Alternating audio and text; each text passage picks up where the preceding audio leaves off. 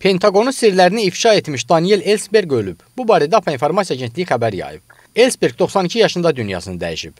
O 1971-ci ildə Vyetnam müharibəsində Amerika Birləşmiş Ştatları ilə bağlı gizli sənədləri toplayıb New York Times qəzetində dərc etdirib.